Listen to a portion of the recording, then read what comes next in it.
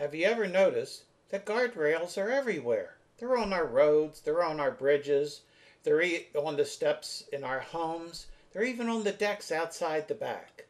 They're everywhere and we don't pay any attention to them. Except when they're not there. Except when someone misses it. Except when someone goes through or over it.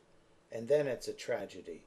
Starting this week at Christ Community Church during the second service, we'll have a five week series on the guardrails of life.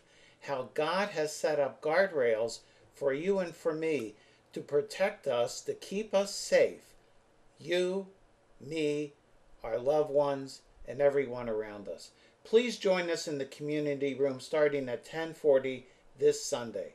This is Chad Gladkowski. Bye bye.